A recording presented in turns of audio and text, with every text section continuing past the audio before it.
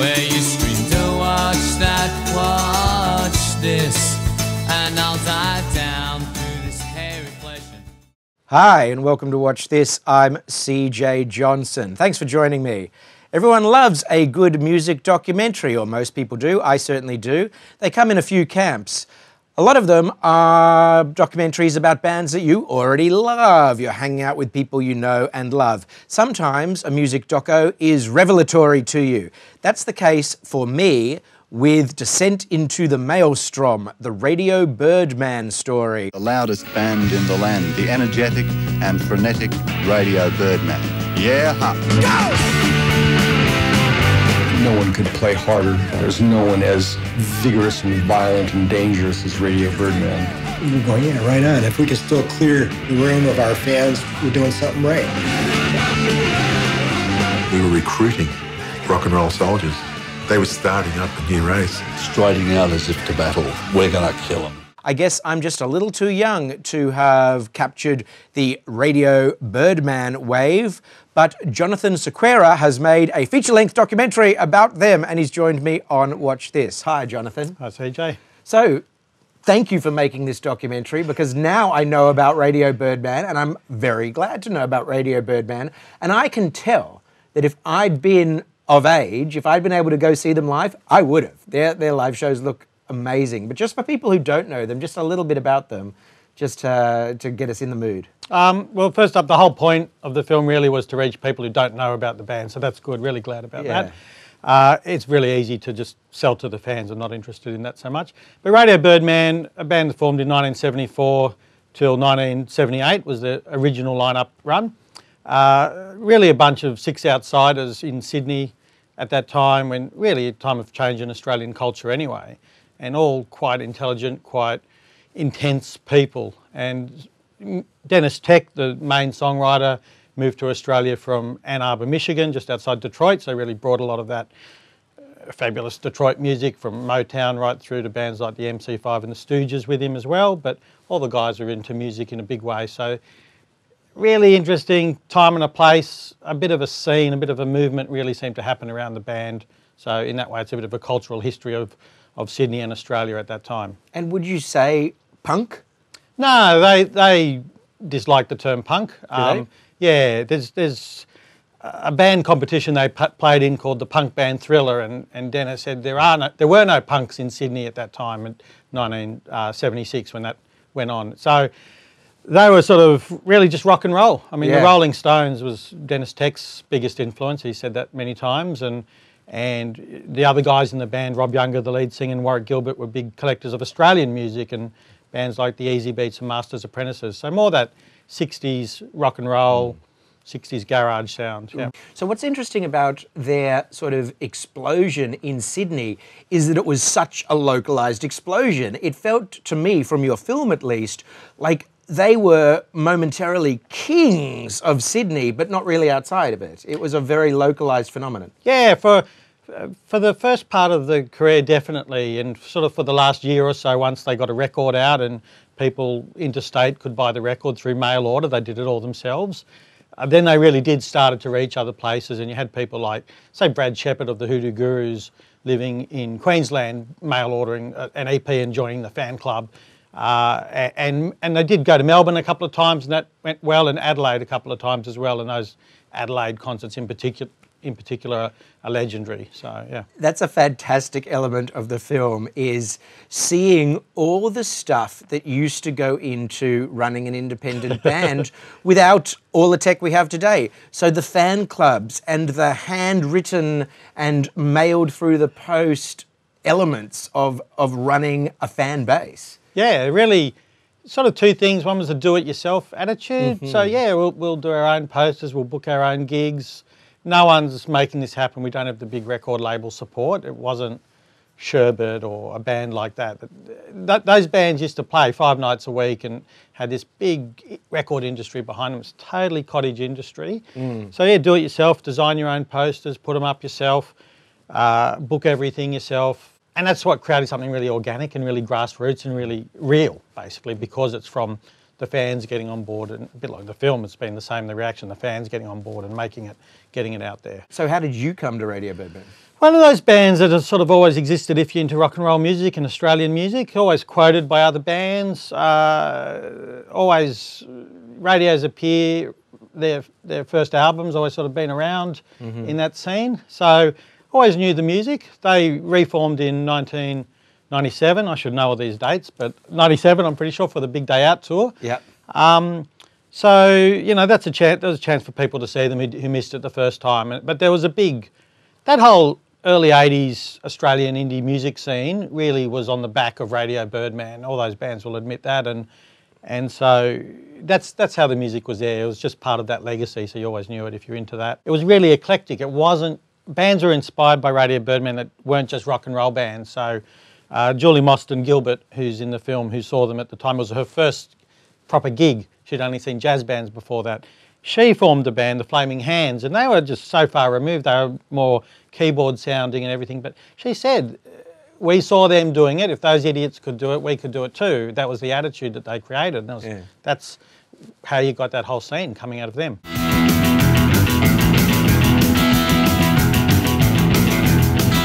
There it is. That's the fun house, the Oxford Hotel. There was hookers, there was gays, there was everyone because that's that was Taylor Square. It was it was brilliant. You walk into up those stairs, and there was a sign above the door saying "one buck, no trendies." And once you were inside, you were in a club where you was completely safe. So you were working as an editor at the ABC and then decided to go become a documentary filmmaker? No, I, I, I left the ABC. this is your first feature, This is my first feature. Yep, I'd, I'd been working since I left the ABC. Been working doing a lot of music video stuff for smaller bands and Directing them. uh, yeah, doing the whole lot, Yep. shooting, directing, editing. Uh, basically, just interested in music stuff always because I've been doing music show at the ABC, uh, and really just doing bits and pieces, stuff that I wanted to do after working for other people. It was about I just want to do the things that I like, that I enjoy, as much of that as possible. And then I thought I want to do something a bit bigger, and the opportunity came up uh, because I was doing a job for Radio Birdman's manager. Uh, I was uh, authoring, getting some archive together for them for the box set that they put out. I said, "Hey, anyone done a doco?" He said, "Many have tried, but they've all failed or given up." He said, "Put something in writing. I'll present it to the band," and I did, and I really just followed through and persisted. So was it seeing the fact that there was a surprising amount of archive stuff that sort of made you feel that you could do it? Uh, Because I- obviously you need that, and your film has Yeah, yeah, plenty of yeah, it. Yeah. Well, I looked into what there was, but I was I was watching the archive uh, that I was um, doing for them, Mm. and it was. I thought this is fantastic. You know, this band is amazing, and it's still this is 40 years ago, still the coolest band Mm. In the 40 land. years ago, yeah. Mm. and it's amazing. This stuff's electrifying. So that was a big thing, and um, yeah, I, I knew I kind of had a rough idea what was out there. So I thought, okay, there's enough Mm. there to sustain it because you've got to have something.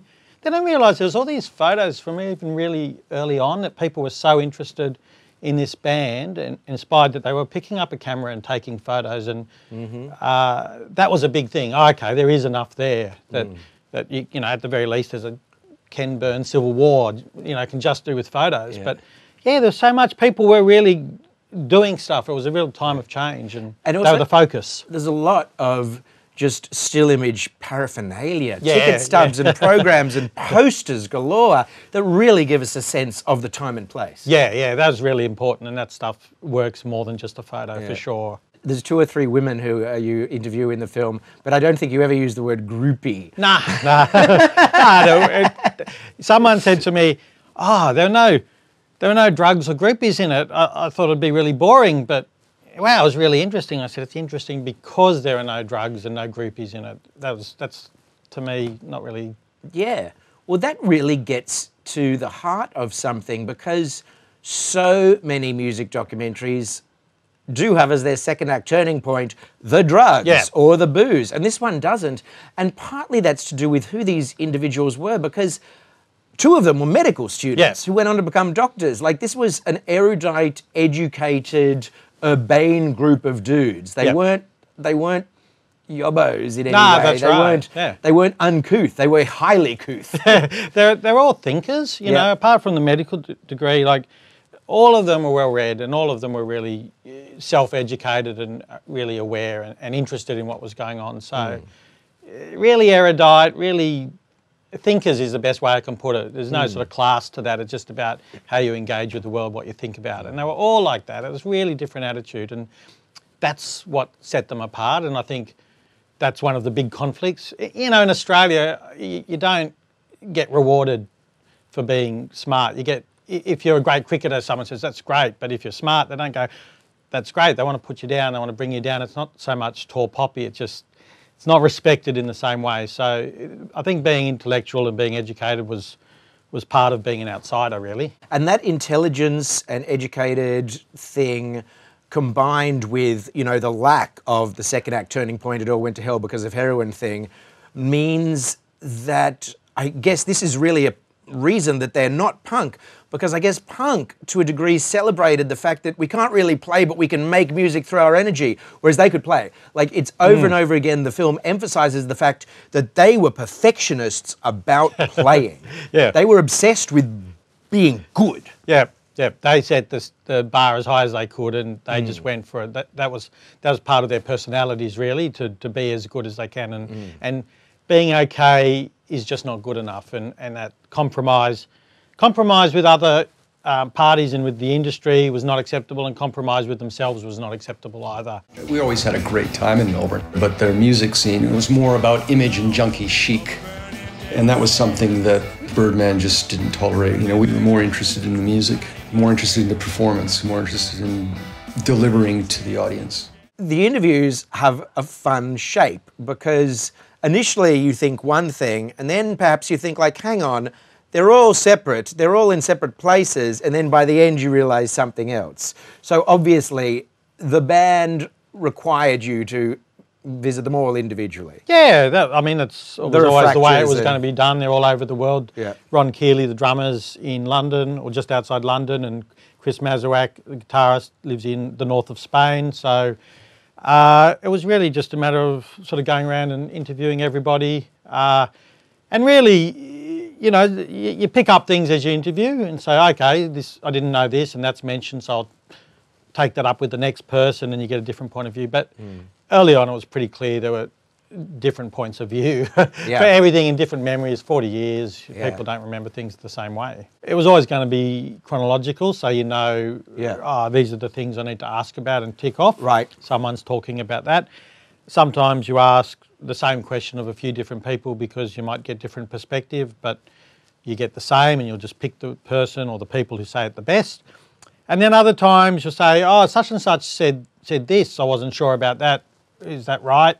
And they'll give you their take on it. Yeah. So it might bounce off each other, but you know, without knowing the exact structure, you know what the key points are that they, they sort of jump out at you. Even when you're interviewing, you go, oh, "That'll be in there. That's that's interesting. What about that?" Yeah. and which is the one who just laughs constantly Oh, Warwick, Warwick Gilbert. Warwick is player, hysterical. Yeah, he, there he is on the base behind us. Yeah, yeah, because he, on the one hand, he says like, ah, you know, I've suffered depression at various points in my life, but he laughs constantly. In fact, he never laughs most than when he's talking about depression. Yeah. I know it's that's the wonderful thing. Like he tells you these serious things, but they're delivered with this humour. And Yeah. people have said to me, "Wow, I was surprised how funny this film is. I didn't expect a documentary to be funny, and it is." I was laughing.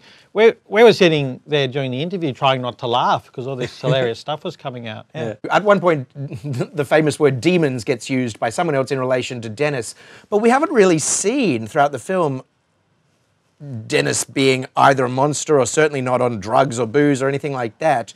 So, did you sort of decide to keep it kind of. Um, it's sort of, I mean, the subtext, and it's probably something you might just pick up on a second viewing, to be honest. that- Okay. That, it's just, he's driven. Deniz is driven. He's he wants things a certain way, and I think that's so it's it. a control not- thing they're really trying Yeah, do. perhaps. Uh, I, I couldn't even quite put it into words, but he's a perfectionist. He wants the best. That's what part of what made the band great, but it's probably part of the story of what split them apart a bit as well. I don't mean just in Deniz, I mean in all of them that Yeah. striving for a certain something is not easy. It's Yeah. not easy, yeah. One of the band members says something towards the end that's very definitive and final. Ha- has that followed through, or have they actually? Has he gone back on that? Have you managed to get them all together for for the screenings or anything? Uh, no, well, Chris and Ron are, are still overseas. They've seen it. Yeah. All the other guys have uh, um, saw it. We Yeah. had a sort of cast and crew Oh, yeah. media screening at the Chauvel, which went really well. Yeah. Uh, that was the first time they'd seen it. Right. And that was, that was a bit scary. Oh, with an audience. With an audience, yeah, Oh, yeah. I didn't. So they didn't insist you, and you didn't offer to I, show I was beforehand. totally surprised, but honoured that they totally trusted me and said, "No, you do it. Good on you." And see how it goes." And they were great that way. They were amazing. So uh, that was a bit nerve wracking. Uh, sitting there watching that and thinking they're seeing it for the first time, but Yeah. I've spoken to everyone since, and they all love it. They're all really happy, and and they understand everyone gets their say. So even if there's conflict and Absolutely. diff- different sides, and oh, I never knew such and such thought that. Oh, I never knew that. That's what they've said. they're, they're happy that they get their say as well. So Right. that's the greatest praise for me that they like it.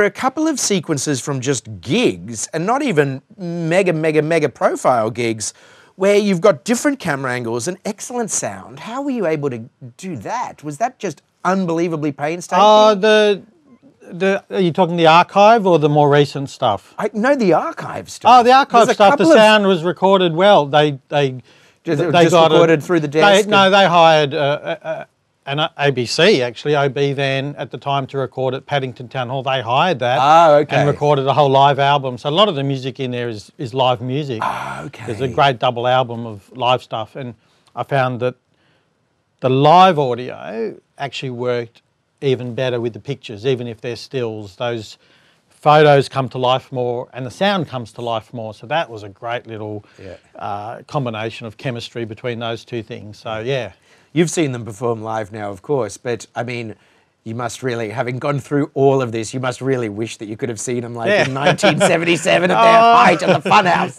uh, strangely enough, I'm not nostalgic, Uh-huh. and one of the things was it's not about nostalgia. It was just important. Uh, rather, it's an important story.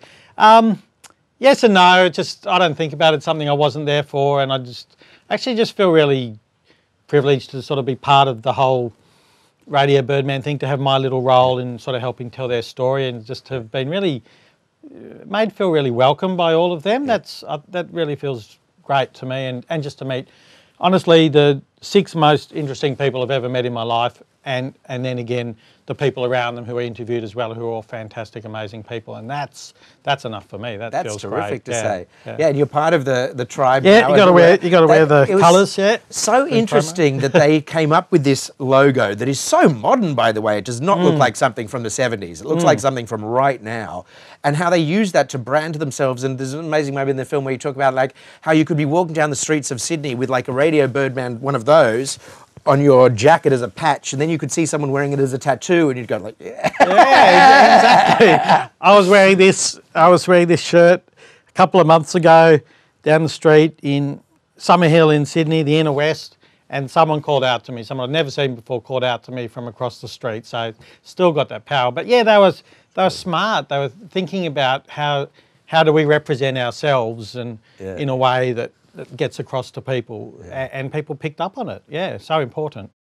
Jonathan Sequeira has made the feature length documentary Descent into the Maelstrom, the Radio Birdman story, and it begins screening around Australia on July 20th and some of those screenings will include Q&As with Jonathan and even perhaps members of the band.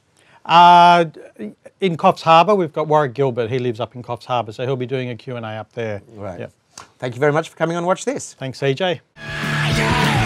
Didn't look like everyone else and didn't act like everyone else. And everyone wanted to be like us. So if you can't do that, then you attack us, which is the great Australian way. The Official rejection of our artistic stance was not unknown. We were treated like scum and outlaws, so we said, okay, well, that's just what we'll be then.